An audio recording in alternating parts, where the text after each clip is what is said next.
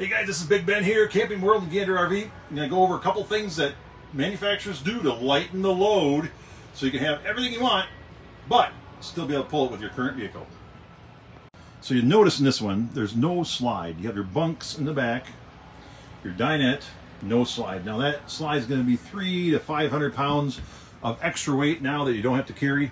And so if that's going to make a big difference, that's going to help you. They shorten it up. This one's 26 feet. A lot of them like this are going to be 30, 32 feet. The extra three, four feet, that makes up a lot of weight.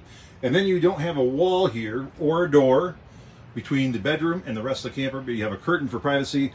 Once again, that's another two, 300 pounds probably. That helps save you some weight. Lots of other things. Sometimes they'll shorten them, the height of the camper to make it a little lighter, leave off some jacks, whatever. A lot of little different tricks to have.